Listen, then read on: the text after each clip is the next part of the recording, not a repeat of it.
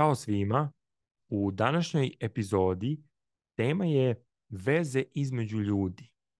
Postoji mnogo različitih vrsta veza, kao na primjer rodbinske veze, dakle porodično stablo, ljubavne veze, poslovne veze, prijateljske veze. Sve one su tu kako bi nam pomogle u našem životnom razvoju. Kako one utiču na naš život, pogledajte u, poslušajte i pogledajte u ovoj epizodi. Također ću vas pozvati da pritisnete subscribe i na taj način pretplatite se na ovaj kanal i dobijate više informacija na ove teme. Uživajte!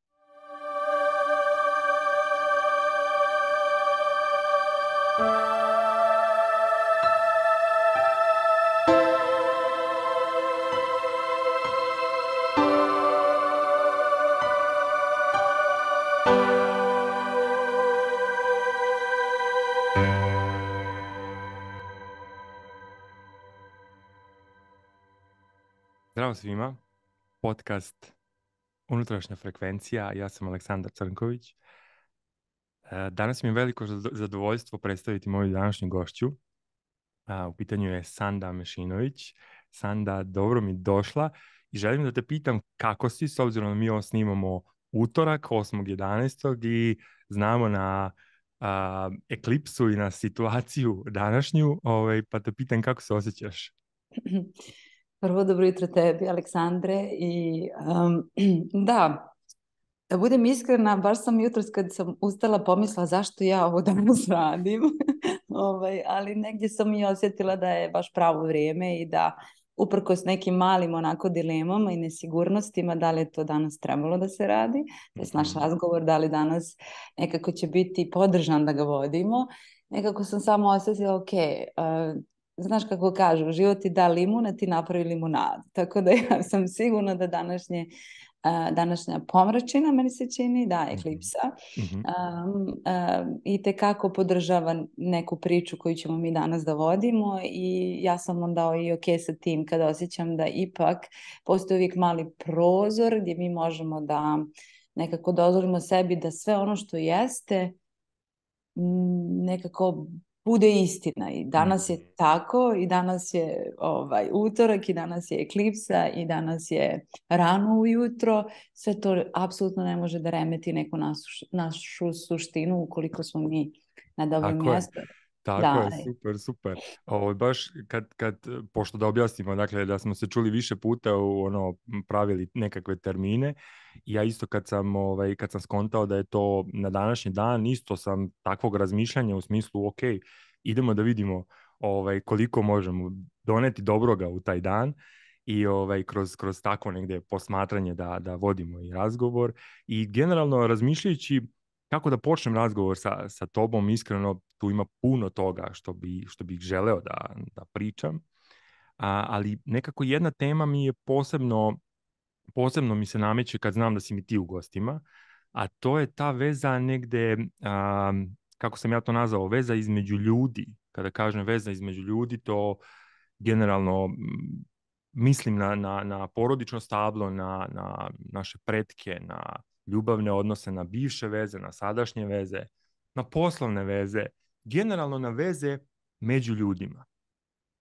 To je ono što, što me asocira i generalno ono što si mi, što je inspiracija moja, onako, kada, kada posmatram tebe. Dakle, to, o tome bi volio da pričam. Dobro, široka tema. Široka Koliko tema, imamo? Koliko traje klipse, to ne čisto da znamo. ok. Mm, da, pa hvala ti na, na zaista prilici da razgovaramo o nečem zaista jako važnom, zato što koliko ja sama posmatram danas, nalazimo se i u kao kolektiv, kao čovječanstvo, kao civilizacija, ljudska, ljudske rase, nalazimo se polako u jednoj tranziciji koja iz tog um, odnosnog, odnosno kolektivnog zajedništva vrlo teži da ide u individualno, odnosno vrlo um, nekako pro, propagira samodovoljnost voljnost, kao ja sam sebi dovoljna. I to u suštini s jedne strane ima svrhu, ima pojentu, zato što negdje u dubini nas postoji svijest o nama samima koja mora da se izbrusti, izbrusi. Znači mi se od rođenja pa do smrti nekako spoznajemo, saznajemo i samo realizujemo. Znači ja bih ipak trebala da znam ko sam ja kao individua, koje su moje htjenja, koje su moje kvalitete, ali isto tako koje su moje sjenke, koji su moji ne baš tako, uh, ajde da kažem, prihvatljivi dijelovi uh, i, moj, i moj jeste zadatak da ja sama naučim da prihvatim sebe kao takvu. Ne moram da se volim, ali uh, u prihvatanju mogu da nađem saosjećanje i razumijevanje zašto neki moj dio uh, je uvijek gladan ljubav ili uvijek gladan pažnje ili uvijek gladan neke podrške i mogu da, mu, da, da, kako da kažem, mogu da pronađem alate kako da zadovoljim taj dio. Da li ću sama ili ću u društvu, u zajednici, kroz hobi, kroz posao. Znači, mm postoji ipak jedna, jedna, jedna važnost da se samo realizujemo. Jer kad znamo ko smo mi, onda znamo sa čim možemo ići u svijet. E sad, tu su ti odnosi. Znači, tu sad dolazimo da mi ovakvi nekako naljećemo i sudaramo se sa drugima u, a, u zajednici, u porodici, u kolektivu, na poslu, u partnerstvu, tokom roditeljstva ukoliko odlučimo da budemo roditelji. I tu onda u stvari možemo da vidimo da ja ne mogu da postojim tako lako bez drugog bića, odnosno ja ne znam ko sam ja, jer čovjek sebe spoznaje u odnosu sa drugima. U odnos, tako je, u, u odnos, da, u odnos onoga što je preko puta njega. Mm-hmm. I ja uh, sam neko ko se bavio demografijom, odnosno to je moj, moj primarni poziv, ja sam završila prirodno-matematički fakultet, ocijek demografija. Mm-hmm. Ukratko samo da kažem, demos jeste nauka o stanovništvu, nauka o čovjeku kao takvom. Tako da sam ja neke 4-5 godine vrlo intenzivno se bavila šta je to što sve utiče na čovjekov natalitet, mortalitet. Znači na njegovu stopu rađanja, reprodukcije, umiranje, bolesti, razboljevanja, migracije, kako uh, on bira da se obrazuje, kako stvara porez. Znači vrlo onako jedan baza koja je kasnije uh, izuzetno bila korisna kad sam zaplovila ove, ajde da kažem, duhovne, spiritualne vode. Mm-hmm. Jeste. I um, kad pogledam i sa tog nekog naučnog aspekta i kad pogledam i kulturološki, istorijski, mi zaista ne postojimo i ne bismo se mogli razvijati i ne bismo stigli do ovde, znači do ovog, ove tačke u vremenu i prostoru sa svim ovim što smo stvorili i što smo um, nekako unaprijedili uh, tokom našeg istorijskog uh, i ekonomskog razvoja bez da nismo radili zajedno. Mm-hmm. Iako, imamo, iako imamo primjere gdje pojedinac donese neku genijalnu ideju, donese neki progres, on ne može to da uradi bez zajednice. Odnosno ne može da ništa sprovede u djelo bez da nema podršku opet nekog drugog bića ili kolektiva ili zajednice ili iste grupacije i tako, dalje. Je. To je ono što, generalno samo da se nadovežem na, na ono što meni nekako dolazi, sad kad to pričaš, znamo svi da smo sisari i da jednostavno trebamo to namirenje i večito, večito se vraćamo u svoje dubine da se namirimo. U prvim godinama života to majka radi roditelji generalno su obavezni da to, to ideja roditelja, a kasnije ukoliko ovaj, roditelji ne završe taj proces kako treba, mi imamo šansu da repariramo to, da regenerišemo sve to u sebi i tu dolazimo do tog odnosa sa, sa drugim uh, ljudima jednostavno. Koliko, koliko uh, je važno poznavati sebe u, evo, počet ćemo od, od nekakvih veza ljubavnih, partnerskih, da kažem da tu negde bude početak, pa ćemo onda ići dalje ovaj, dublje i dublje. Ovaj, koliko je važno a, poznavati m, sebe da bi ušao u kvalitetnu vezu ili ušla. Da, veze su uvijek onako najinteresantnije. Zato i kažem, da, da, da, da, to je... Zato, zato što zaista u stvari uh, kosmički su napravljene takve, takve, kao takve da nam pomogu da završimo procese koje nismo završili sa roditeljima. Znači, primarna uloga veze nije samo reprodukcija i nije da je nama lijepo i ugodno i da mi živimo neku bajku. Primarna uloga svih veza jeste da e, izbrusimo ono što nismo stigli da izbrusimo tokom odrastanja, odnosno prvih sedam do deset godina, sad zavisi od, od teorije do teorije i od tradicije do tradicije, ali ono što je najranija, najranija svijest o nama samima. Jer uh, pod pretpostavkom da veze služe da se ogleda ljubav, uh-huh. da se nauči, um, um, da se uči o, so, o sobstvenoj vrijednosti, da se uči o razmeni ljubavi bezrezervno, znači ja te volim zato što mi daješ to, znači to nije poenta ljubavi, ja te volim zato što ti jesi tačka, ništa više. To je u stvari prva refleksija kada se be, dijete rodi i onaj moment kad ga majka uzme, ja te volim zato što jesi. Mm-hmm. Jer to dijete još uvijek nema nikakav koncept, nije ništa postalo, ne provajda ni svoju majku, ni svog oca, nije završilo fakultete, nije postalo uspješan advokat ili, ili doktor, to dijete samo prosto jeste. I u toj prirodnoj, kosmičkoj, kako da kažem, mudrosti, je ukoliko ona nije jeli, ovaj, baš bila praktikovana um, redovno, u smislu da je majka i otac kasnije, pošto je majka pr primarna koja uči dijete da se ogleda u, u svijetu. Ukoliko tu prosto je bilo nekih lekcija nezavršenih, ukoliko je bilo nekih prosto životnih okolnosti gdje majka nije stigla da ovaj, sa djetetom provede neko kvalitetno gledanje. Kad kažemo gledanje, jest jednako prisustvo. Prisustvo jest jednako ljubav. Mi kada smo jako mali, mi prisustvo naše majke tumačimo kao aha, zbrinut sam, zbrinuta sam, aha, postoji neko, znači sigurna sam, sigurna i da, bit ću namirena, znači me, ja sam važna toj osobi preko puta mene. To je, to je za mene ljubav, znači ja to doživljam kao ljubav. U odnosu koliko je toga bilo, primanja, mhm. te, te, te, tog, mogu slobodno reći, ne samo namirenja osnovnih potreba, znači da se dijete previje, povije, da se nahrani, već... Uh, da budeš prisutna tu pored da. mene, da. Imam da. sad sad nešto što, što mi se nameće, ove, što sam se sjetio, baš skoro sam imao, ovaj, a, pošto smo mi iste prakse, da tako kažem, učitelji kundalini joge i u radu sa, sa ljudima, ovaj, baš a, mi je žena rekla, pa ja sam bila tu sa svojim detetom stalno, sve vreme, nisam radila, bila sam tu kako je moguće da nije namireno.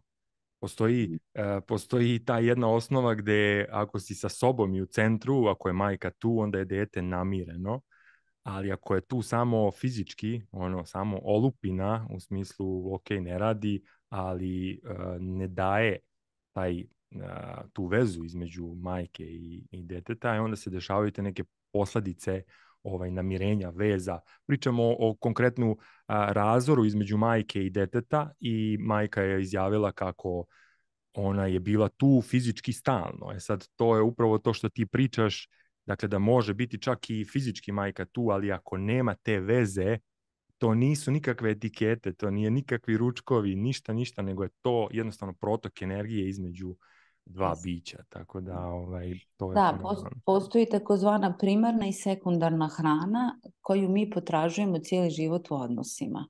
Primarna hrana i zaista moramo proširiti uh, naš ugao gledanja, kao što sam rekla, ja dolazim iz uh, naučne discipline, iz istraživačkog rada i vrlo sam sklona da sve ima svoje uh, objašnjenje, znači uh, da, da postoji jedna potkrepljenost onoga što govorim, mm-hmm. ali, ali uh, moje iskustvo zadnjih deset godina kroz uh, moj duhovni rast, istraživanje i iskustva koja sam imala mi pokazuje da zaista čovjek mora da proširi svijest o tome kako gleda određenu situaciju i da posmatra mnogo širi kontekst, čak i oko stvari koje ne razumije. Mislim da mi kao čovječanstvo tek sad ulazimo u jednu fazu razvoja gdje ćemo mi i putem nauke dokazati da postoji ono nevidljivo, ono električno, ono magnetično, ono spiritualno i to se u stvari sve više i više dešava. No da se vratim na priču, postoji primarna i sekundarna hrana.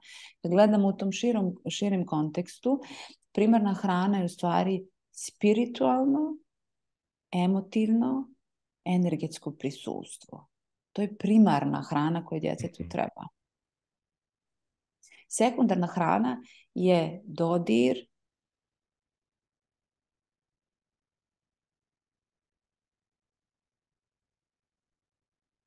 zatim eh, preslačenje, znači to neko eh, namirenje kao tako. Znači primarna hrana je sekund, the neki, present. Neki, uh, sekundarna, uh, pošto primarna? je Aha. nešto je, nešto je zakucao, nisam Moguće. te čuo. Pa okay. Pa evo samo ako možeš da ponoviš ovaj, ako možeš da ponoviš sekundarna, počela si i samo je slika stala, pa evo, to je sad mm negdje posljedica online ali ok, evo, tu smo da se nadopunim. Da, znači primarna hrana je u stvari, kao što sam rekla, energetsko-spiritualna, duhovna mm i to jest emotivno, emotivna hrana, znači emotivno prisustvo. A sekundarna hrana je u stvari fizičko namirenje putem hrane, putem dodira, putem uh, presvačenja, znači to, tog nekog taktilnog mm namirenja fizičkog tijela. Ali ono što mi jesmo i što je nauka definitivno dokazala da smo mi električna bića, elektromagnetna bića i da mi prvo u stvari šta hvatamo iz okruženja jeste e, drugo električno polje. Znači u ovom mhm. slučaju električno polje moje majke, njenu auru, njene emocije, njene osjećanja, njeno prisustvo, njene misli. Znači ja to kao novorođenče sve kupim i to je prvo što se ja namirim. To je prvo čega se ja nahranim. mm Pa tek onda, u zavisnosti od toga šta osjećam u svom elektromagnetnom polju da sam pokupila, ja počinjem da dajem signale šta mi je potrebno. Da li da me majka emotivno reguliše dodirom, da mi pomogne, da mi da, jer ja ne znam, biće koje prima jake emocije od svoje majke, što je potpuno normalno kad žena rodi da ima raznorazne emotivne e, e, procese. Kako tako je, procese koji se podignu, da ima i misli koje, jer je odgovorna za jedno novo biće, mislim, nema krivice tu ništa, samo objašnjavamo da, da bismo znali kako možemo biti prisutniji sa svakom novom bebom koja se rodi. mm Čak i mi koji smo, čak i ko, koji roditelj, prosto neka sebi negdje stavi ovaj, ovo kao informaciju, ne da su oni nešto krivi ili da treba nešto rade, ne, ok, to je bilo tako za kad sam ja bila majka. Ali ono što ja kao beba pokupim jeste prvo sve te uticaje od nek, nekog ko je mnogo snažniji, potentniji, jači od mene, to je činjenica jer je odrasla osoba mnogo svjesnija, jača, potentnija od novorođenčeta. mm I onda u zavisnosti od toga ja dajem takozvane znakove šta mi je potrebno. I svaki put kad roditelj ne prepozna znak, dešava se mala izdaja, jer ne znamo šta je djetetu potrebno i namirujemo ga na možda pogrešan način. To je ono, vidi avion, djete palo, udarilo se i sklanjanje fokusa od osjećaja primarnog što se dešava.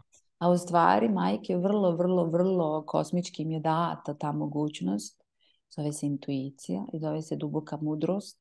Prosto to je nama u genima kao i svakoj životinji ta, vani. Mm-hmm. Ja da mi apsolutno, ako bismo dozvolili sebi da samo na trenutak do, osjetimo kako i prisustvo djeteta, da se ukopčamo na tu vezu, mi ćemo tačno znati šta je njena potreba, da li je tužno, da li treba zagrlje, da li treba mhm. samo da bude tu, da li treba da jede, da li zaista treba tu sekundarnu hranu ili je prosto trebaš mi da se samo reguliše. Mi se, mi se učimo emo, um, samoregulaciji uz nečije prisustvo često ne trebamo ništa da radimo. Dovoljno je samo da smo tu. Osoba će sama svaki put kad se vraća mm znati aha, vraćam se u siguran prostor, neko je tu ko će mi pomoći da iznesem ove emocije, ova pitanja, ovaj haos. To ima veze, jel to ima veze sa, sa prisustvom učitelja? Dakle, kada, kada ti učitelj kasnije, tu, kasnije, da, kasnije, kasnije ukoliko, a niko od nas, 99% nas na na svijetu nije, nije imalo prosto taj, taj, tu mogućnost da, da kompletno završi proces e, odrastanja uh, i, i neke, nekog razvoja.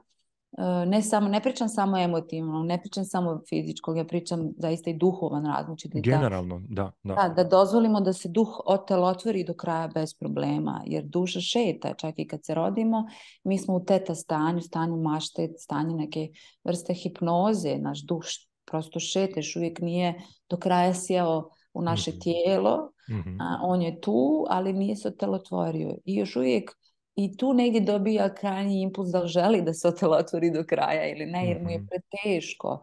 Jer prosto ova sad inkarnacija mi je teška. A kasnije, ukoliko, znači, većina, kao što rekoh, nas nije završila, taj proces mi tražimo onda da nam kroz taj proces pomogne druga strana. Da li je to učitelj, da li je to partner, da li je to a, neki mentor kroz sport, kroz hobije, da li je to kasnije mentor i kroz biznis, a, nekog koga čitamo, neki književnik, neki umjetnik, da li se kroz umjetnost pokušavamo vratiti u sadašnji trenutak i dozvoliti da sve te emotivne sadržaje, sve ta podsvijest koja nije završena ispliva i da je mi mhm. nekako preradimo sada jer imamo drugu, drugi, drugu mogućnost i kapacitet, a to znači ja sam sad odrasla osoba koja može to da preradi, nisam dijete koje će na kraju krajeva i, i da možda zaista ostane trajno oštećeno ukoliko je prevelik sadržaj unutar, zato postoji naša prirodna samoregulacija koja samo isključi ono što je preveliko i gurne negdje u ćošak i kaže ovo ćemo kasnije. I onda mhm. to kasnije dođe sa 20, 30, 40 i ono što mi ne bismo trebali da radimo je se da bježimo od toga kad se podigne sadržaj.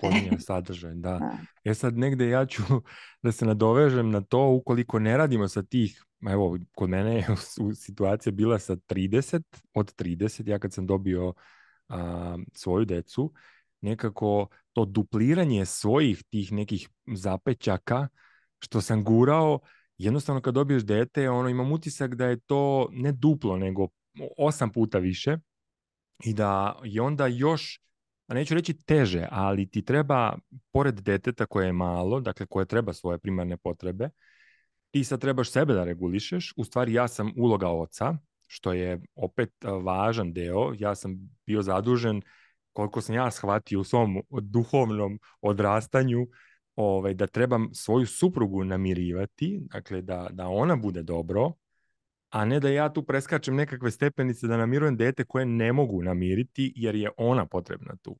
I sad, kako si to lepo rekla, ovaj, meni se odmah uh, sam se setio toga uh, kod mene kako je to bio taj početak, ono, uh, naravno ne znaš odmah sve, odmah treba ti grešaka i grešaka da bi naučio ovaj, u stvari da provališ o čemu se radi. Stvari su vrlo jednostavne, ali zbog okolnosti, zbog situacija životnih poslova, raznih obaveza, nekakvih razmišljanja koje te stavljaju u, u autoriteta, ovaj, koji te stavljaju te neke pozicije nelagode i ti prosto ne možeš da, da, da, da skontaš. E sad voleo bi da, da tu malo se zadržimo oko tog objašnjenja, ne u smislu šta tu treba, svako to treba da pronađe nešto svoje, ali koji su to alati, na koji način a, naravno, kundalini yoga je jedna od, od, od širine aspekata svega toga kao alat. Neće kundalini yoga rešiti problem, nego jednostavno a, da objasnimo malo a, situaciju u, u takvim trenucima šta, šta je dobro raditi, kako namiriti sebe. Mm, da, mm, jako je izazovno kad mm, ljudi dobiju djecu, ja se zaista divim roditeljima koji u današnje vrijeme se odluče da imaju uh, i prvo, drugo, a kamoli treće, četvrto, peto dijete. Sa druge strane je to zaista jedna ogromna zahvalnost i, i onako jedna veliko, velika začuđenost i mhm. zainteresovanost jer dosta posmatram um, volim odnose da gledam pa onda posmatram tako i kako uspješna, uspješno roditeljstvo izgleda ili manje uspješno ili neuspješno, uopšte nije važno, sve je roditeljstvo. Mm -hmm. Ovaj, ali um, ono što bih samo htjela da napomenem jeste da mi nećemo znati dok ne, ne znamo nekom, neko ima put da neke stvari mora da pređe u samoći prije nego što se, kad kažem samoći, znači da neko vrijeme bude izdvojeno samo za njega dok ne postane prvo supruga ili o, o, suprug pa onda roditelj. Neko će svoj razvoj da prolazi direktno kroz roditeljstvo. Neće znati u što je ušao, onda će ga to natjerati, bit će to poziv božanski kroz to da se pozabavi, on kaže ok, ovo nešto nije ok, moram da mhm. učim, nešto mm -hmm. da mhm. naučim. Znači, jako je individualan put svakog od nas i nije linearan, nije zacrtan da ima neki rok kao sad sam to odradio, neće se više nikad ponoviti, da ima neki cilj, ne. Mm -hmm. Ovaj, i, I nekako svi mi imamo drugačije razgovore i dogovore sa Bogom. Tako da, mm -hmm. uh, htjela bih to da kažem, da apsolutno svaka pozicija u kojoj se nalazimo i svi sad koji slušaju ovo i ti i ja, smo na dobrim mjestima. Znači smo mm. tačno na onim mjestima gdje trebamo biti i samo je pojenta da e, negdje pokušamo kroz različite alate, kao što si rekao, kundalini yoga je jedan od alata, psihoterapija je jedan, tjelesne terapije su treći, hodočašće je četvrti za nekoga, ovaj, da pokušamo da proširimo svjesnost o tome da ukoliko se stvari ponavljaju, postoji božanski pattern. Mhm. Znači, postoji nešto što se ponavlja. Jednom je slučajnost, drugi put je već ok, nešto je do mene, ali ako se ponavlja treći put i više, znači da smo ušli u nešto što se zove pattern, koji je veći od nas. Mm-hmm. Navika. Znači, tako je, on je mhm. u tom trenutku proizvod svega onog što je i svjesno i nesvjesno u nama. I što pripada egu, i što pripada super egu, i što mhm. pripada podsvijesti i uh, nadsvijesti. Znači, to je nešto gdje mi ponavljamo situaciju i to je zaista samo poziv, način kako nas izvor to je vrijeme za rad, to je reš pečeno, sad, sad kreći. Ono. to je, nema Zreli ste ko šipak, da, da. To je baš to, to, to. Ovo sam te pitao e, sa, sa tim, uh, zato što, dakle, potpuno svesno, zato što to sad ima veze, dakle, kao što smo i rekli, da li je roditeljstvo, da li je veza, da li je između, uh, naravno, predačka linija, tu postoji taj, uh, ta veza linije roda, ali ovaj, sve je povezano, dakle, da li u roditeljstvu ili ti možeš prođeš lekciju bome i kroz partnerstvo, ne moraš biti roditelj ostvaren uopšte fizički, ali ovaj, e, to je sad odličan uvod da pređemo sad na, na, na te malo sa, sa tog e, veze majka, roditelji generalno, ovaj, da pređemo na, na te veze koje su partnerske i koje su to isto toliko vredne i koliko je veza između te namirenosti i posle kad ti dođe partner koji oslikava sve te tvoje nekakve traume ili sve nešto što, što nisi stigao da završiš i on ti se pojavi toliko je lep, toliko je uh, sve, sve sjajno bajno do, do jednog momenta. I to generalno se danas objašnjava kao tih prvih dve, tri godine veze, sve super strava, ali niko ne daje, uh, ne daje sve to nekakav marketing da bi kliknuo, da bi pročitao, daj, ali daj mi informaciju koja je vezana za, za to. Dakle, o čemu se tu radi?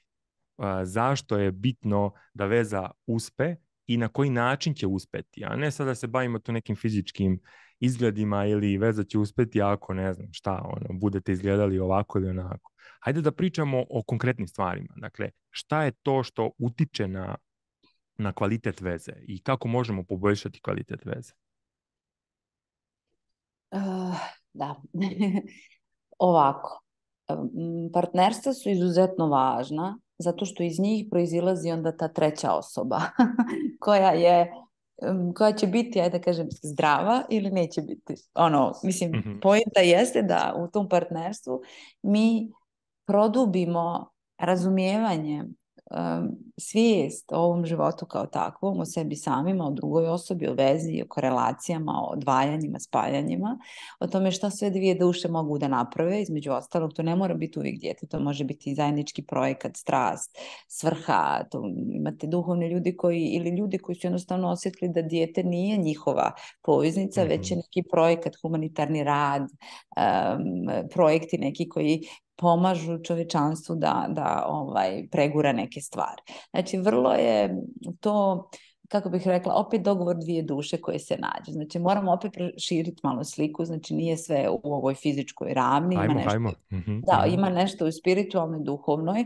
ravni. Ono što jeste važno, što je neko moje iskustvo do sada, jeste kad se dvije osobe i nađu, da mm, opet je pa, najvažnija stvar je istina istina koja je veća i od mene i od tebe i od mene i od mog partnera i od tebe od tvoje žene. Znači postoji istina koja je božanska i dolazi iz izvora, a to je šta je put moje duše. I da li si ti došao, došla da budeš tu privremeno ili za stalno.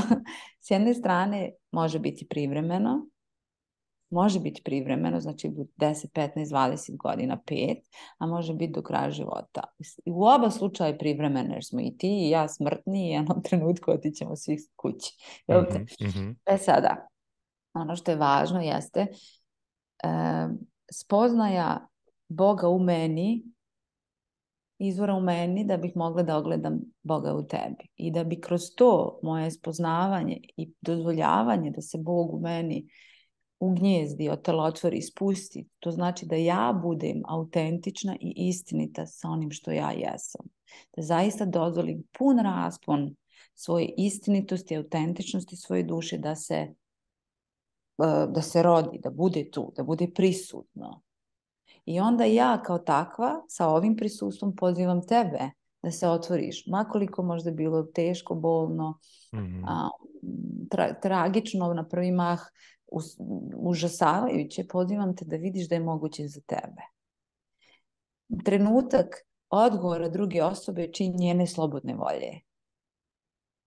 Da li je ona spremna i da li na kraju konstelaciji stvari sada vreme za nju da se otvara. Makoliko ti bio prisutan u ljubavi, koliko to bilo sigurno mjesto za tu osobu, mi ne možemo nametati njenu, njen, njen povratak ka izvoru. Znači ona mhm. mora sama u nekom trenutku života da odluči, ok, sad je vrijeme za mene, da se ja vratim u svoju istinu autentičnost. Mm-hmm. Da, to je pored, to... Gubitka, pored gubitka partnera jedan od najtežih stvari, u stvari kad ti rasteš, a partner ostaje tu, a veza Dakle, tu se jasno vidi da ima nešto više sem tog fizičkog, sad upravo Tako to što je. pričaš. Da. I svi dođemo do toga, znači svi dođemo. I oni koji su najkompatibilniji, oni koji se nađu na intelektualnom, fizičkom, bilo, svim drugim aspektima dođe moment kada se u stvari otvara duhovna sfera, kada se otvara mnogo nešto šire od onog što mi do tada kao smo nešto savladali. Znači, zaista postoji šira slika ovog života, ovog mhm. kosmosa, ovog, mm-hmm. ovog postojanja. U toj konstelaciji stvari um, učimo da volimo neću reći bezuslovno, ali dozvoljavamo da ljubav bude ta koja voli kroz nas. Šta to znači? To znači, ukoliko ja vidim da osoba preko puta mene se muči ne može, nije mu vrijeme, ja moram da se vratim unutar sebe i dozvolim da ljubav presudi. Šta znači ljubav prema meni, prvenstveno, prema Bogu meni? Jer ako ja ne volim sebe, ne mogu ni tebe da volim. Ali ljubav prema meni da presudi, da duboko osjetim u sebi da mi ljubav kaže da, ovo je vrijedno čekanja, bit će šta god, neka varijanta koju sad ne poznaješ, desit će se, ali moraš da budeš spremna da šta god ta druga osoba postane, moraš da imaš skillse, ljubav, mora, you wow. have to, moraš da se spržiš sva da bi voljar, ti ne znaš šta će se desiti kad se druga strana otvori. I prihvataš svjesno rizik da to drugu stranu voliš, šta god da ona jeste, jer ti ne znaš šta je njena autentičnost, jer se još nije otvorila. Ti vidiš jedan dio, mali dio. Često i projektujemo šta bismo voljeli. Znači ja dozvoljavam da mi ljubav kaže da, svjesno prihvataš rizik da voliš tu osobu iznova, iznova, iznova. Kao što kada odeš kod sveštenika, oni ti iznova, iznova, iznova pružaju ruku. Mm-hmm. Znači ja nisam više ja, ja dozvoljavam da božanska ljubav voli i mene prvenstveno, pa onda kroz mene da, kako da kažem, da mi gore svi ti mali dijelovi koji misle da ne mogu da šta god odgovore na ovaj poziv. I onda bez obzira na to sve i na moje prisustvo u toj ljubavi i dozvolu da to teče, ja ne znam da li će druga osoba primiti moju ljubav. I to, to je u stvari. Da. da, jer ne znači da će htjeti primiti moju ljubav. Ali to nije ni poenta. Poenta je ja sam kroz ovaj odnos spoznao što znači voljeti. Mm-hmm. Jer nije poenta da me drugi voli, poenta je da ja naučim da volim. To je, to je toliko isprepleteno, a u stvari je toliko jednostavno da kada spoznaš kad ulaziš u te delove i konstantno ovaj, osjećam da je taj rast negde ovaj, konstantan i često ulovim sebe da sam došao do nekog nivoa nečega, kako ja to nazivam kod sebe i ono samo ovim trš, ono, sa druge strane doleće nešto ono, poput e, ono, brzine svetlosti.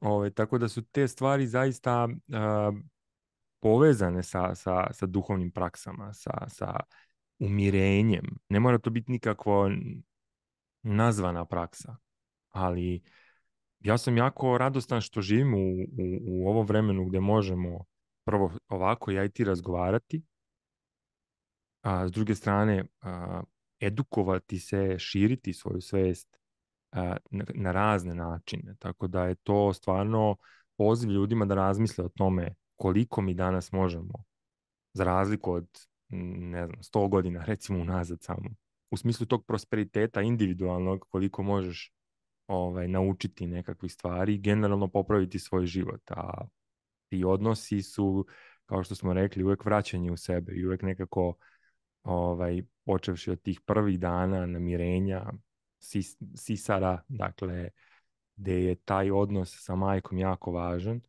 ovaj, tu dolazimo, evo, malo smo dirnuli i veze i, i, i partnerstvo i roditeljstvo, ovaj, voleo bi sad da, da krenemo na te rodbinske, rodbinske veze i koliko, a, koliko tu ima uticaja na te neke naše razvoje, na neke, na, za neke zastoje u našim duhovnim razvojima. Pa ima, ima zato što smo mi dio sistema kao što, opet se vraćam na ono, mi jesmo individua koja ima svoju ulogu u sistemu.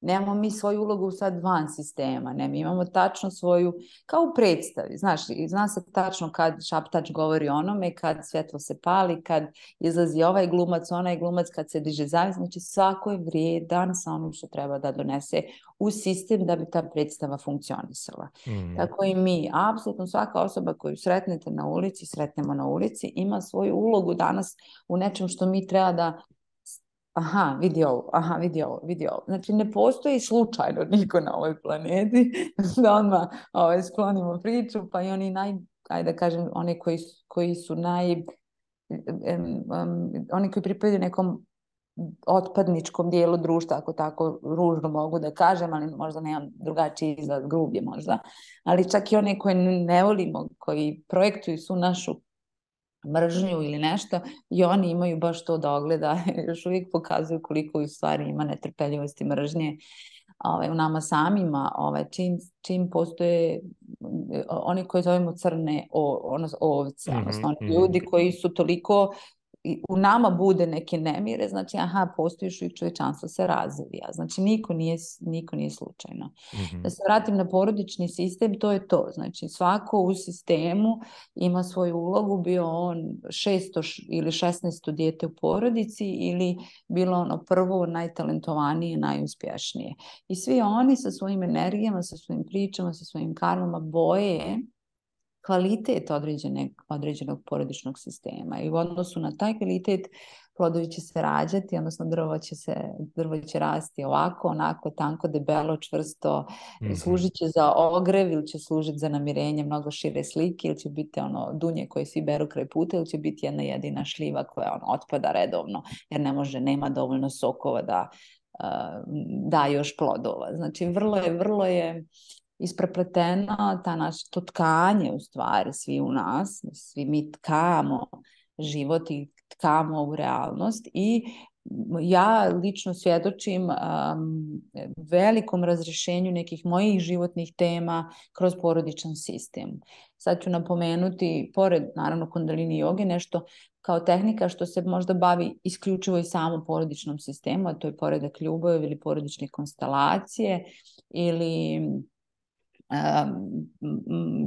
sistem Berta Hellingera i uh, ja sam negdje na mojim početcima radila kroz taj alat i jako puno stvari sam uvidjela u mom sistemu i jako puno stvari se zaista jako brzo riješilo unutar mog porodičnog sistema i dan danas nakon ovoliko iskustva i rada na sebi sa sobom osjetim trenutak kad više nije do mene, nego sistem mora da pogleda tu moju situaciju. Ja moram da pogledam svoju situaciju unutar sistema i moram što je najvažnije da dobijem blagoslov sistema da mogu dalje da se razvijam. Jer niko neće da ostane zaboravljen, Niko mhm. neće da ostane nepoštovan i mi koliko god misli da smo bolji, spiritualni, da nas je Bog nagradio, možda jesmo, možda jesmo, mm mi moramo u jednom trenutku da se okrenemo i zahvalimo cijelom sistemu i svemu onom što je on prošao da bismo mi danas bili ovdje gdje jesmo. Tako da, da ja i dan danas kad imam negdje osjećaj da negdje nije do mene, nego da zaista osjećam da se taj pattern stalno žulja, ok, ja sam iscrpila sve momente kod sebe, idem da to postavim u sistem. I onda, na primjer, porodične konstelacije jesu moj najdraži rad, jer se, govorim za, za, baš za sistemski, to se zove mhm. sistemske konstelacije, gdje ja onda postavim temu i onda gledam kako u stvari dinamika unutar porodice se razvija, koja uglavnom, ja sam posljedica nekih odnosa u prošlosti. mm Okay. Ja sam rezultat nekih Rezultat, da, da, da. Znači, moje neko sada, da, mm moje neko možda, moja neka borba uh, uh, sa nečim danas ovdje je možda zaista posljedica nečeg što nije razriješeno u prošlosti. I kao što sam rekla, mi smo energetska bića, bića kvantnog polja, znači ta energija nigdje nije umrla, ona i dalje kruži dok neko nešto ne uradi sa njom. Mm. Pošto je Bog rekao, ok, sada ti ćeš, ja sad idem i nešto radim sa tom energijom. Znači, da li ih mirim, da li ih suočavam jedno sa drugima, da li se traži oprost, da li se traži da se neko vrati u porodičan sistem i tako dalje i tako dalje. Mislim, ne radim to ja, ali to rade ljudi, ali ja sad kapiram, aha, nešto moram da uradim sa ovim što je ostalo nerazrešeno, pošto mhm. naravno ja pripadam možda svjesnijem dijelu moje porodice, što ne znači da jesam, ali prosto sad znam da, ok, idem da uradim to, odim na, na konstelaciji i tu postavim stvari, dozvolim da se u stvari sistem poravna, u vrati u balans. mm I onda se to kao nešto što se zove ripple effect ili efekat leptira efekat domina jednostavno hop hop odvrti u mom životu. Ja vidim direktno rezultate poravnanja energije u svom životu. I olakšanje po nekim temama, otvaranje nekih vrata, odjednom si nešto razriješi, odjednom osjećam neke prilive energije, što su u suštini blagoslovi predaka. Znači to su neki blagoslovi koje mi dobijamo kroz to. Tako da, mi krećemo svi sa nekim unutrašnjim radom. Ne znam kakva je bila tvoja priča, onako najintimnija, to samo ti znaš, ali mislim da smo mi svi koji i svi ljudi koji se bave drugim ljudima kroz terapije, kroz čak i medicinu i kroz pravništvo i kroz neku vrstu pomoći, vatrogasci, mislim. Mhm, mislim mhm. da, da, da je to sve negdje unutrašnji impuls, poziv. Ja idem da pomognem drugima jer meni je trebala pomoć. mm ja znam da sam ja počela da kao e, da, da, da, ulazim u ovaj, ovu službu, ako tako mogu da je nazovem, mislim čak nije ni pod navnike, ne jeste služba gdje služim drugima kroz mhm. svoje primjere, zato što sam ja željela da meni neko objasni zašto sam ja morala da prođem kroz neke stvari i kako se to rješava i kako se iscijeljuje i kako se vraća u mir i kako se prihvata sebe. Znači prosto mislim da smo mi ti svi ranjeni iscijeljitelji, znači mi dođemo na mjesta gdje drugima objašnjavamo i pomažemo da se izregulišu baš zato što smo mi u stvari trebali i nekako se upustili u ovo putovanje tražeći alate, tražeći odgovore jer ih nismo dobili. I e, zaista veliki poziv, evo sad ako mogu da iskoristim ovo, a iskoristit ću, iskoristit ću, jeste poziv da se neke stvari zaista adresiraju u sistemu. Znači moramo neke stvari, makoliko bile bolne i teške, ukoliko mi osjećamo da smo ti u porodici, e, osjećamo da nam je dato, dat glas. Dat glas i mogućnost. To se osjeti uvek. To, to, to jednostavno, ako ne znaš, ne znaš, neće ti ni doći. Ali ako ti imaš i unutrašnji impuls, e onda bome treba se pozabaviti s tim. Da. Jer Bog je dao iz nekog razloga, dao je, ako ti je dao, znači da vjeruje i da zna da ima snage. Možda ti ne vidiš i treba je tek aktivirati, ali on dao tebi to Mm. i dao ti je i ti ćeš i razvijati svoju snagu i brusiti svoju vještinu i svoju mudrost, to nije sporno, nekad nam se čini da imamo mnogo, onda vidimo, ok, nije nešto, možda nisam dobro baš iskoristio ovu svoju snagu, čekaj, pa ću se malo korigovati, ali u svakom slučaju ti je dat glas, data ti je svjesnost da vidiš rupe gdje curi brod i da bar probaš jednu ili dve da zatvoriš. Znaš, ne moraš sve i nije dato sve i nećemo sve i ne možemo sve i nije na nama, možda i na našoj djeci, na unucima, ali ja ću da odradim svoj dio ono, službe, ono što se od mene očekuje. Ja ću da upalim to svjetlo kad reflektor treba da onu završnu scenu da ja ću da budem spreman, prisutan svo vrijeme i da, da, da budem tu kad treba. I da se u stvari desi taj oh, moment završnice neke predstave. I sistemske konstelacije, odnosno gledanje porodični rod, porodično stablo je izuzetno važno, zato što to nama daje čvrstinu, stabilnost našim korijenima, našem biću. Mogućnost da naš spirit u ovoj ravni, u ovom zemaljskom sad postojanju zaista završi teme čvrsto, stabilno i jasno po koje je došlo. Do, završi lekcije.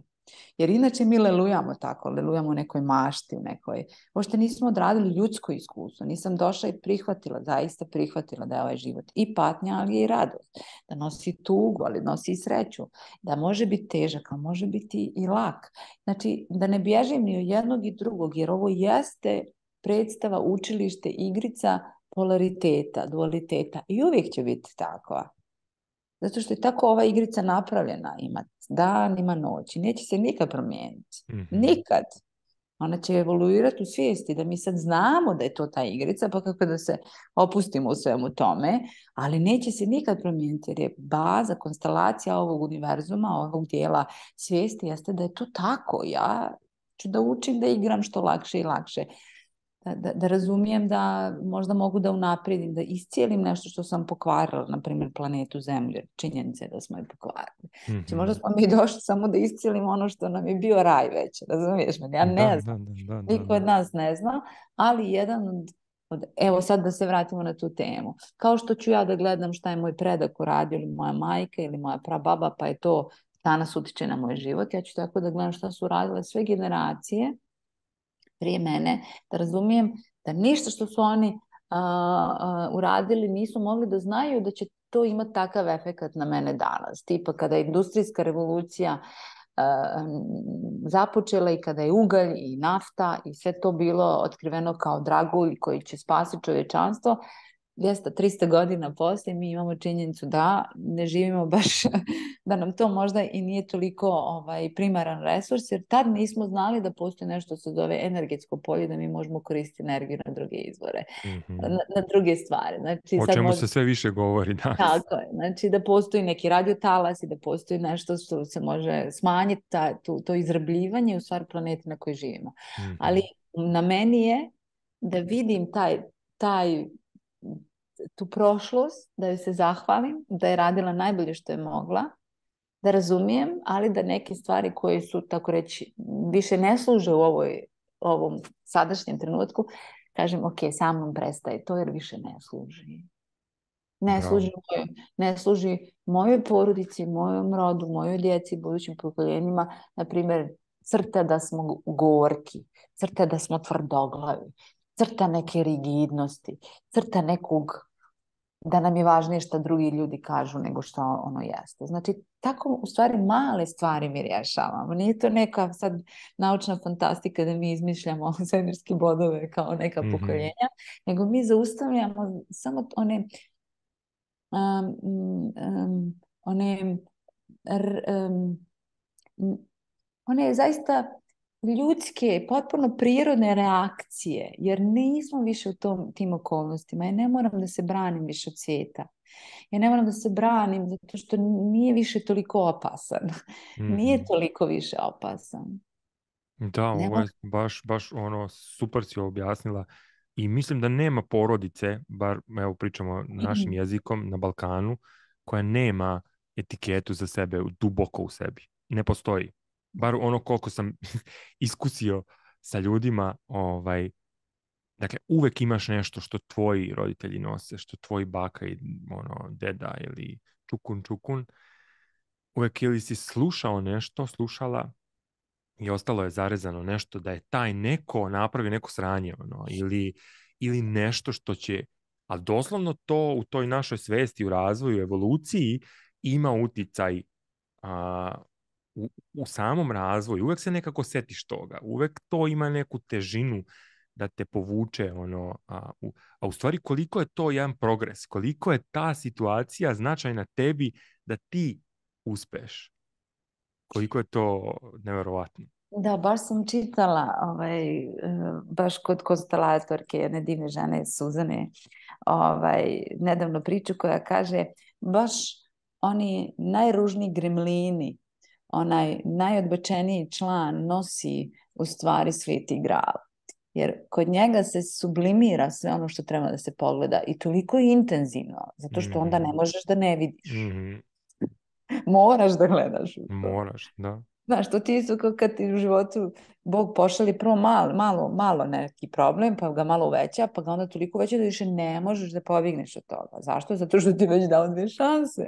Dao ti već dve, tri, pet, deset šanse da ti to pogledaš. I sad postoji situacija ili, ili zaista dođe u životu moment kad ili, ili ili ponovo bježim, negdje duboko znajući da će se uraditi. Znači, bukvalno odbijam neku vrstu buđenja svijesti mm-hmm, moje, mm-hmm.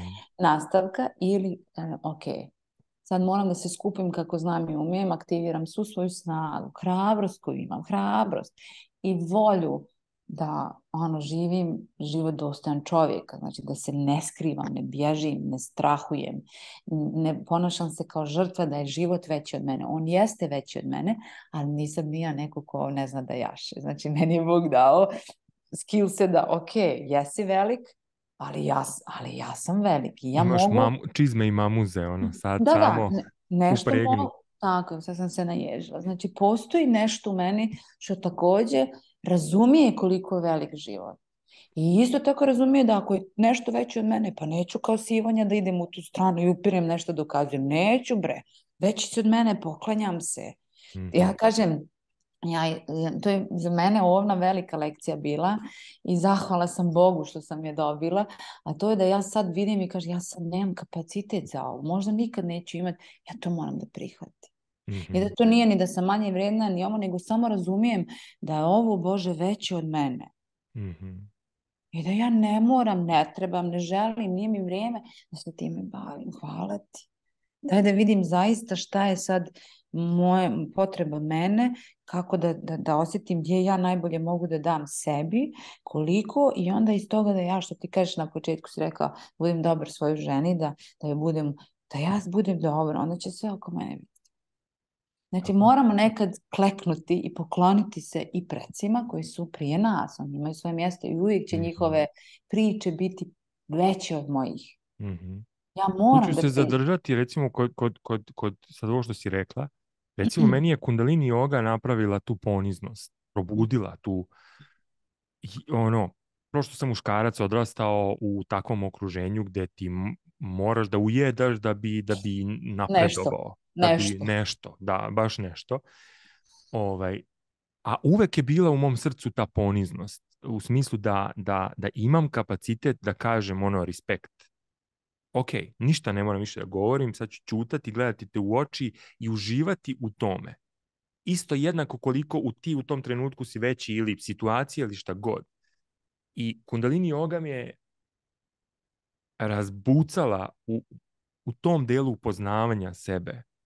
I ja sam toliko zahvalan a, tom a, rastu i tom prepuštenju. Bilo je, bome, toliko straha i toliko a, tih nekih da li ću krenuti uopšte u taj proces ili, ili neću. Ali to je toliko bilo veliko i toliko bilo snažno i toliko bolno da da sam, kad sam ušao u ceo taj proces, samo se dogodilo to da se otvorila ta, taj, ta kutija poniznosti, ne u smislu, sad neću ni da ulazim u objašnjenja poniznosti, onih što, što dru, društveno su ona istaknuta poniznost da ti budeš nekako narugan ili, tome, nego to je poniznost koja je u stvari, to je veličina unutrašnja, koja spoznaja ko si ti, a ko je svet i šta je tvoj zadatak ovdje.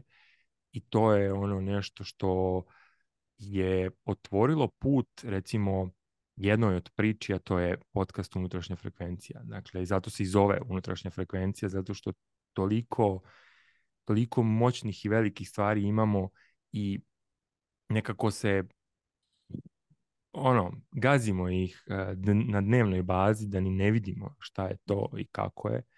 Samo tri godine unazad da sam pogledao ovaj, u tom periodu svog razvoja video bi da, da nema potrebe za, za tim nekim stvarima. Ali jednostavno je to proces, onda prihvatiš to i naučiš još više od, od svega toga. Tako da ta poniznost, hvala ti što si to spomenula, baš me uvijek nekako e, srce mi probudi, zaigra, ono, stvarno, e, kao nakon nekakve najbolje terapije ili nekog procesa dolaziš do tog buđenja ovaj, svog dela sebe i vreme je ono da ustaneš i da kažeš e, poštujem sve, respekt svima. Tako da šta god da se dešavalo, da uopšte neću da ulazim u pozitivno, negativno, ali to je jako važno i tim međuljudskim odnosima, vezama, koliko se tu sad recimo promenila moja perspektiva u, ovaj, gledajući ljude posle te takve situacije. Jesi ti imala takvih nekakvih sličnih situacija? Mnogo. Ti znaš da to nije samo jedan slučaj, da to dolazi iznova, iznova, da kao ovaj, nekako ne naučimo. To se obnavlja, tako je. ne naučimo i ustoličimo lekciju. Ali da, za mene je najveći izazov bio da stvari zaista imam tu poniznost prema sobstvenoj duši. Kod tebe se to baš vidi. Ono, to kad, kad pogledaš mm tvoj Insta story, to se vidi. To je, to je nešto što što ti toliko dobro radiš, ispoljavaš da ono ti to moram reći ovako javno. Hvala ti. Da, ja eto nisam mislila, da, zbog koji kakvih je životnih okolnosti i konstelacija koje nosi moj rod i e, okolnosti kojima, koje sam prošla, koje nisu bile baš onako ni lake, naravno ničije nisu, svako dobije isti, istu gramažu, jel, ovaj, mislim da svi smo došli ovdje zato što ovaj život nije lak, ali da ga naučimo da živimo možda na lakši način. Ali ja sam e, baš ovako dugo vremena provela u tom hodočašću ka svojoj sobstvenoj duši u smislu da se zaista poklonim tom duhu u sebi koji je veći od mene i vječniji od ove sande u ovom obliku i da dozvolim da radi kroz mene. I mislim da, da i, sva poniznost o kojoj ti pričaš je isto negdje tebe u stvari vodi ka tome da jednostavno pokloniš ka tom nečem što ti je Bog dao i da to staviš u službu. Tvoj podcast, tvoj život, to sve što radiš jeste u stvari negdje unutrašnja prva poniznost prema tome, ok, prihvatam dar koji si mi, prihvatam te, prihvatam, mhm. prihvatam ovaj oblik tijela, ovo ime, ovo nasljeđe, ovaj rod i sve što s time dolazi po punoj cijeni. I to je mislim, ključ potpune autentičnosti prepuštanja i bivanja e, da smo alat, alat svoje djeci da odrastu, da uče kako treba, pa i ne treba, alat svojoj supruzi, alat ljudima, alat, alat sobstvenoj životu, sobstvenoj tantri, sobstvenom ekspresionu, sobstvenoj samospoznaji. I taj, taj moment poniznosti je za mene isto, kao što kažeš, bio vrlo bolan, pun straha šta će da se desi ako ja prepustim kontrolu. Ono, ja pustim da me nešto što ne vidim vodi. Ono, da me mhm. natjera da ja kažem stvari koje nisu društveno prihvatljive, koje nisu ono, još uvijek možda u kontekstu vremena, hoće me spale, hoće me ignorišu, hoće me napadnu, što se deš, dešava, mislim, prosto nema čovjeka koji govori istinu da je uvijek sve opšte prihvaćen, nema toga. I koliko god bio autentičan, ne voli ga sve i to je isto jedna istina koju prihvatam. Aha, svijet nije, znači svijet ima dualnost i to je ok, znači nije do mene, to je takva igrica. Kad kažem nije do mene, to ne znači da ja sebe ne preispitujem, nego prosto vraćam se opet u tu istinu da gledam život onakav kakav jeste, kakav zaista jeste i sebe u njemu. mm I ta poniznost prema sobstvenoj duši je nešto što u stvari onda je takozvano prisustvo, da se vratimo opet na taj odnos majke i, i odnose uopšte, to je onda prisu, ja sam prisutna sa svime što osjećam, sa svime što jeste, mm, puštam da se to ispoljava na način, prolazi, teče, da li kroz riječi, kroz pokres, kroz neko, neke, neke radionice, kroz kreacije nečeg novog, kroz vođenje ljubavi, kroz kuhanje. Znači, to nešto dozvoljavam da bude prisutno. I što više ja dozvoljavam prisutnost sobstvenog duha uh, i, i tu poniznost da kako bi rekao, ono ima širu sliku, ja, ja da, on gleda, ono ili to, svjesno gleda sa neke šire perspektive, od na mene malu. Mm -hmm. ovaj, to onda vraća u taj proces povjerenja, znači ja moram da se izbrusim, da vjerujem tom kad čujem idi ovamo ili da reci, da Aleksandru ili aha potvrdi ovo, a ne ovo odbi. Ja toliko moram da vjerujem da u jednom trenutku više toga nema, da ja zaista naučim da plešem i onda čini mi se da je to onda put zaista onih hodočasnika, ne, ne sad u onom asketskom uh, smislu, već hodočasnika koji jednostavno žive to što jesu. Ja ću se vratiti nešto sam pod utiskom od prošle srede na koncertu Bože vreće, prvi put sam išla da ga gledam i slušam. Jednostavno to je toliko spojeno, to je toliko jednota da ja ne, ništa mi tu ne odudara, ništa mi tu ne, ne pravi problem, ništa mi tu ne, to je jednostavno jedno ogromno prisustvo koje je to je to, to, to je prihvatanje, potpuno mm -hmm. poklon, o, ok, ovo je veće od mene. Mm -hmm. Koliko ja god možda želio da se dopadnem, budem ovako, nekad, ja to, ne, to, to će biti fake, to će ljudi osjetiti na nekom nivou, ja ću patiti, ma ja ću patiti, psihofizički. I ja moram da se poklonim tome. I kako se poklonim tako, šta god, ta moja duša hoće da ja nosim haljine, hoće da pjevam ovo, hoće da sarađujem sa tim, hoće da se tetoviram, hoće da govorim ljudima da ih volim. I ja to da. moram da ispoštujem. Kad to ispoštujem, svi to osjeti. Mm -hmm. To se osjeti I, da kod, kod njega na koncertima za kad si, mislim to se osjete, vidi. To osjeti se da je Bog prisutan, to je da je nešto da. veće od tebe prisutno. E to je ono što u stvari nekako nismo svi namijenjeni da budemo svjetlo kao on, ali u našim malim mikrokosmosima to je to. Znači ja ću da budem sve što duša od mene želi da bude, to jest mene koristi da bude. Ja, mhm. ova sam samo alat da duša odradi to što je ona namijenila ovde i ja ću to da dozvolim. E, to je taj, ta tamna noć duše i to je taj najstrašniji moment i nekako ne završava se sa jednim prolaskom, jednom inicijacijom, nego iznova, iznova nekako i traži još, daj mi još da mm. se otvorim, daj mi još da kreiram, daj mi još da pričam, daj mi još da nudim, da dajem, da se, u, odnosno da se pustim u ovaj život, jer duša zna da je ovo sada i više nikad. Mm -hmm. Znači, želim da se potpuno pustim ovaj život i ok, možda ja mala mislim da ne mogu izdržati bol, ali duša može, pusti me da je osjetim. Iz te boli ću možda postati pjesnik, možda ću slikati slike, možda ću pokrenuti podcast. Možda ću, razumiješ, kreirati ono no. na Balkanu jednu zajednicu ljudi duhovni koji će reći ok, idemo, ajde, idemo, dajmo, pričamo. Znaš, to je to, daj mi da osjetim da onda iz toga izraste, da osjetim tu zemlju, da osjetim to otolotvorenje, kao kad se posadi klica pšenice. Ona prvo mora da osjeti tu tamu, taj mir iz zemlje, tu vlagu, to sve i krene da puca. Fu, fu, fu, mm. I raste, da nešto, da neki plod. Nema ona ni pojma ni koliko će da, 5, 10, 20 onih zrna dalje. Ali ona, to je njena misija. To smo mi ljudi. To smo mi. Potencijal, pun potencijal. Tako, tako, mi smo potencijal koji je namijenjen zaista po genetskom ključku i kodu da se ostvari na takav način. Mm. Ja ne mogu biti ništa drugo nego ono što duša moja hoće. Ja ne trebam da budem sve i sve drugo. Božu vreću je treba da bude samo Božu vreću. Mm -hmm. On ne mhm. treba da, ni da slika, ni da sutra ne. Ne, on treba da radi to iznova, iznova. I to se zove devotion. Ti znaš to iz Kundalini joge.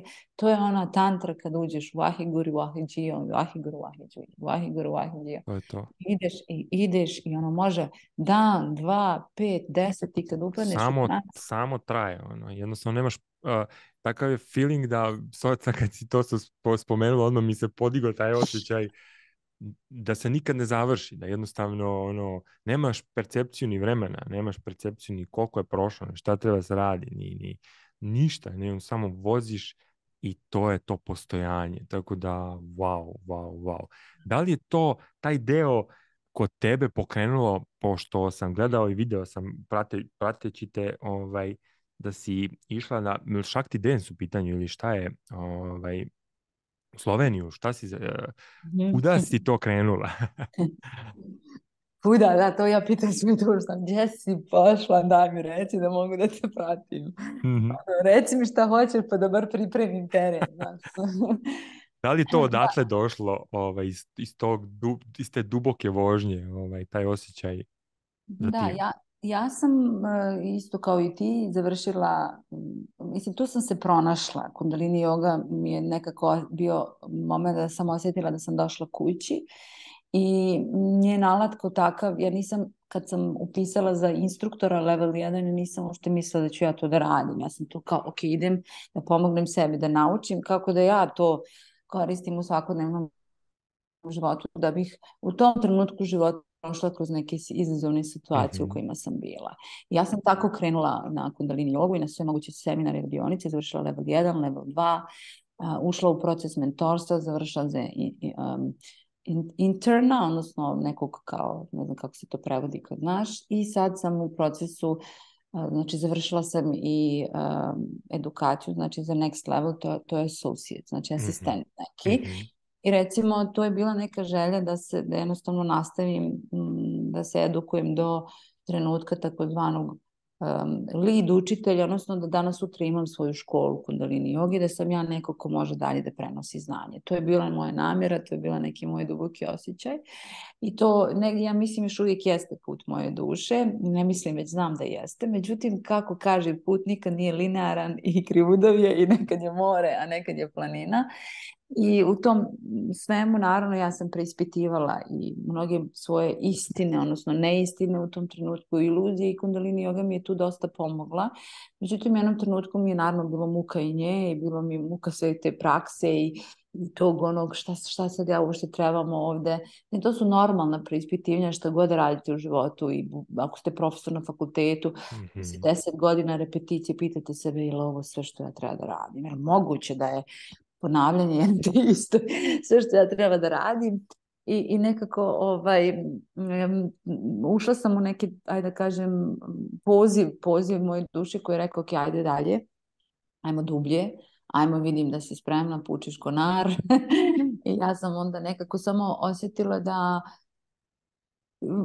kao žena imam tijelo kao svoja primarni alat i da sam htjela da ga istražim malo više. Shakti dance, odnosno yoga plesa e, je blagoslovena od Yogi Bajana. E, njenu mehaniku i njenu praksu je spustila Sara Avtar koja je i sama učiteljica kundalini joge 20 i nešto godina i koja je direktno učila Yogi Bajana i koja je i predala za njegovo vakta, što se kaže, cijelu ovu filozofiju i Shakti Dance, odnosno yoga plesa, je bazirana na uh, asanama i filozofiji kundalini joge. Ima dosta prakse iz same kundalini joge, ali je, um, ajde da kažem, um, njen duh to pro, provukao kroz jedan, jedan ženski šakti flow mm-hmm. koji je prepoznao Yogi Bhajan i dao blagoslov i re, rekao da je to ono nekako dao je blagoslov autentičnosti to, te, te prakse mm-hmm. i mhm. ona unutar jogi plesa koristi i apsolutno sve mantre, iste postavke, iste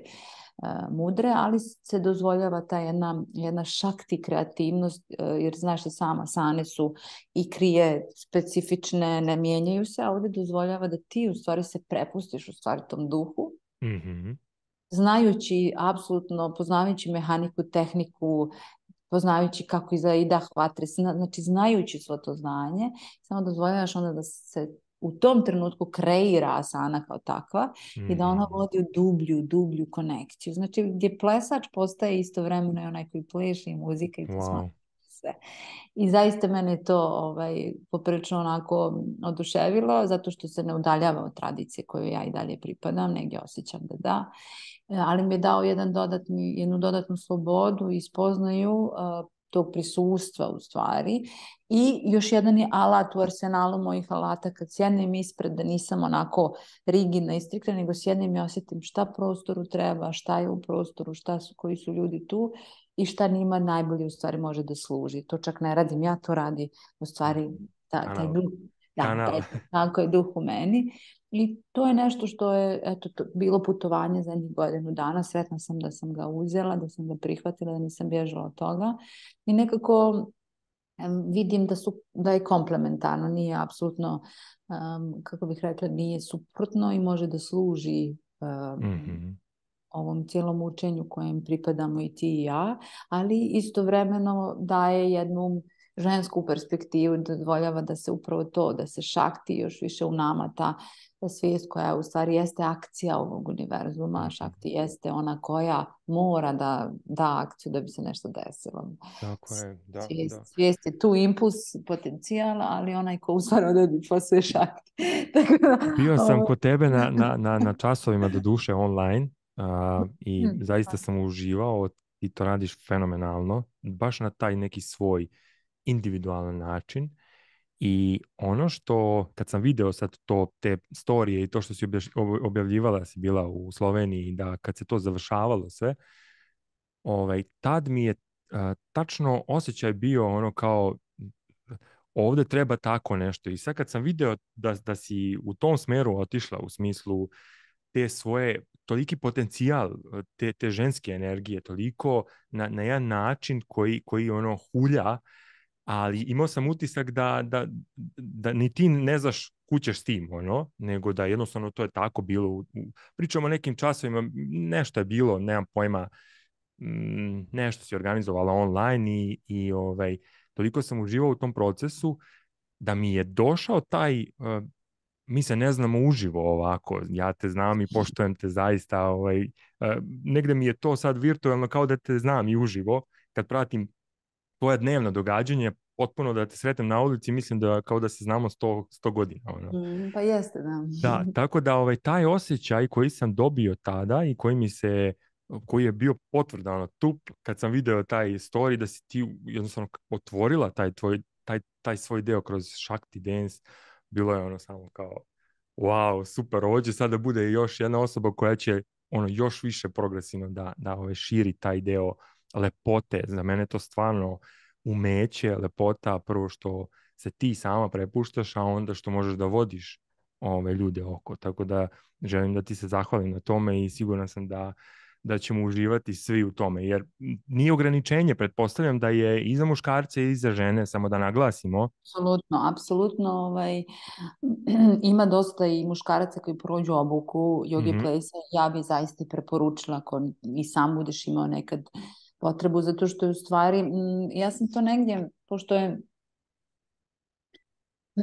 ja sebe negdje ovaj, zaista doživljavam kao, znaš, kao one drviše. Ja, ja ne mogu izbjeći taj osjećaj i dozvoljavam sebi sad sve više i više da prihvatam to i da pričam o tome i to je ta neka mhm. istina. To je taj moment prepuštanja mudrosti srca, to i ti sam znaš kad se pustiš, ono prosto prolazi kroz tebe. To je zaista poklon moje glave, mom srcu i, i to je e, dervi, sufijski moment kad ono, dozvoliš da se ta poetičnost svijeta kroz tebe izrazi. Kad kažem poetičnost, to neko piše, neko vodi podcast, neko pleše, neko pjeva, neko svira, neko kuha, neko je prisutan. Znači, to je onaj rafinisanost, kad se dođe do tolike rafinisanosti da nema ničeg što više ne trebaš da dodaš, nego nemaš mhm. više ničeg što trebaš da oduzmeš. Kad nema ničeg što se oduzima više, znaš, kad umjetnici to znaju, kad je mhm. četka previše, kad nema više ništa da oduzmeš, nego ostala suština, to je to. To, to, je, to, je, to si ti. Kad više ništa ne treba, kad toliko ne, ni ovo, može i bez ovoga, i bez ovoga. Čekaj, da, samo je ovo, e ovo, evo da sam se ježio. To je u stvari ono što bi Rumi rekao potpuno prepuštanje. Znači, to je moment kad te samo univerzalna je ljubav, izvor sve vodi. I ja sam negdje osjećam da je moje hodočašće, moj poziv da idem ka tome. To je moja, moja lična tema, eto da tako kažem. Moja lična Mhm. tema je put ka tom prepuštanju da budem potpuno alat ekstaze božanstva. E sad, mo, moja, mo- moj način kako to radim je kroz pokret, je kroz ples i kroz tu Mhm. mogućnost da ljude provedem, da osjetim kako da ih dovedem do stanja da se susretnu sa tim dijelom. To sam od uvijek znala, sad samo vidim da sam to radila i kroz fitness treninge, gdje sam ja vodila žene u salama 17 godina, gdje nisam više znala šta radim, toliko sam bila, znala svaki pokret da samo stanem i osjetim šta prostoru treba. Nisam možda tad znala šta ja u stvari radim. Kasnije i kroz posao, čak i kroz, kroz porag, kroz korporaciju sam znala kad stanem u prostor ispred klijenta nekoga, sam dozvoljavala da me strast, da me, da me neka ideja koju osjećam vodi. A, I ja sam i kroz kundalini jogu počela da integrišem bubnjeve i plesne radionice. Ne znam da li si, da li možda znaš, ali ja sam imala e, tri, četiri momka koji su svirali sami i sam, ja sam u jednom trenutku, ali ovo je toliko kompatibilno, da ja Mhm. prvo odarim kriju, onda da uđem u putovanje kroz konkretan zvuk i da samo tijelo se otvori i odradi što treba da otvori da bi se mi susreli sa tobom. To je to koliko se intuitivno I te ovaj, radi, su da. svuda porigile sam. Da, da, ja, to, to je prosto dolazilo. Ja osjećam da, da to sam negdje malo zaključala iz straha vjerovatno od svega toga i ne, nemogućnosti da ono pustim kontrolu da se to dešava i da to vodi svojim putem. Jer u stvari mi se uvijek bojimo naše svjetlosti gdje će to odvesti dobro, a ne gdje će to ne svoje tamena. Tamo smo nekako svi navikli na svjetlo. Mhm. Za mene je to bilo nešto, nisam imala nikog s kim bi mogla da se ogledam, pričam o tome nešto detaljno, nekog mentora, gurua, kasnije došao učitelj, Mhm. ali bili smo u školi u- u Bosni gdje smo služili opet učenicima, tako da ja nekako nisam baš imala mnogo vremena da ja razgovaram o Mhm. meni, o sebi, šta ću sa tim i onda sam krenula da samo istražujem dodatno još i to me odvelo i kažem ti tamo i evo i sad nekako e, našla sam mm, osobu, dvije, gdje vraćam uvijek gdje odem sa svojom temom koji mi služe za, za tu introspekciju koje me sad vode kroz to jedno em, e, zaista prihvatanje sopstvene svjetlosti do kraja. E, Malo mi je, zato što su oni već mnogo ispred i, i osjećam da je to neki taj put gdje se potpuno oslobađa ta lična kreativnost, lično služenje. Vidjet ćemo gdje će to otići, ali da, negdje dobro si vidio i hvala ti na tome. Mnogo mi znači ovo sad što kažeš.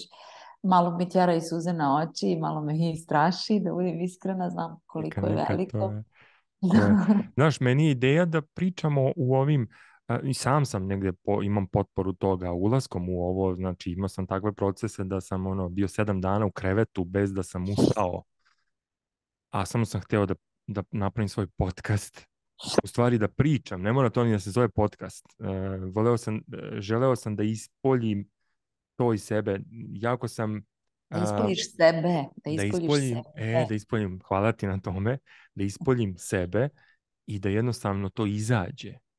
Bojao Mm. sam se toga i još uvijek se bojim i još uvijek je bila, jutros je frka bila. Počeo sam da gutam, da mi vlaže usta, da mi se suše, da mi, da ne znam šta ću. Bez obzira na sve to, sada već lagano ulazim u taj proces da posmatram, ne mora ništa nasilno. Ušao sam kao to dete, ono, bu, samo i onda se preplašim od toga što sam se uplašio u stvari.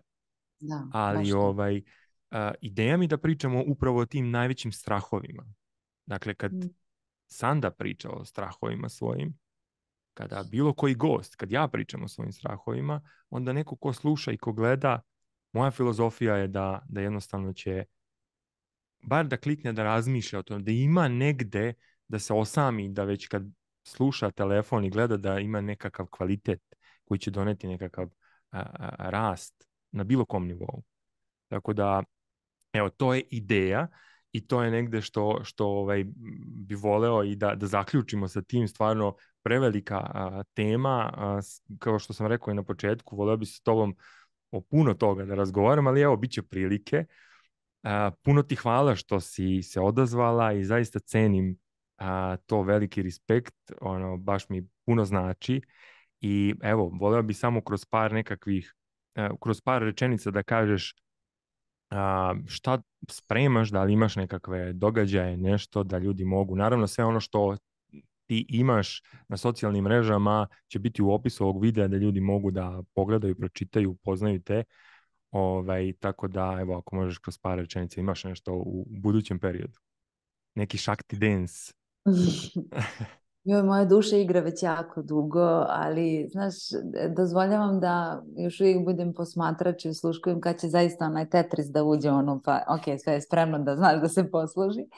I um, nekako te neke stvari, velike stvari, pogotovo što se tiče uh, izlaska među ljude ponovo, jer sam malo mi trebalo da se odvojim od ljudi fizički, da budem sa sobom osjećam da se kuha i sprema i mislim da će tek naredne godine da se uh, desi to neko možda veći, veća, veći ulazak baš u, u taj, tu, taj ples, taj, taj, tu radost, tu tantru života, to dijeljenje um, prisustva, jer ono što je meni kroz neki rad sad istina i što primjećujem da je jako potrebno jeste da se ljudi iz glave spuste u tijelo i osjete Boga u sebi i budu prisutni sa sobom, a nema ljepše i nema mm, potentnije mogućnosti od samog plesa, odnosno od plesa koji je svjestan. Znači nije svaki ples svjestan, da se mi razumijemo. I Shakti dance yoga plesa i kundalini yoga je mene naučila da budem, da plešem svjesno, da znam ko pleše, da se prepustim i da znam iz toga izvući u stvari plod na kraju. Mm. Ovaj, tako da je to nešto što još uvijek se onako kuha krčka o mene samo i dajem sebi strpljenja i vremena da, da, da dozvolim da me vodi. Ali, kaže, ok, sad skuhana si dovoljno, znači, sad si zrela, idemo. Ovaj, da, da, spremna si, ali uh, to, je, to je taj dio. A što se tiče možda nekog programa do kraja godine, im, imamo planu ciklus i, i na svojoj Instagram stranici i ostalim društvenim mrežama ću da objavim. Sad pred kraj godine uvijek radim zaista taj ciklus koji vraća u, opet u prisutnost.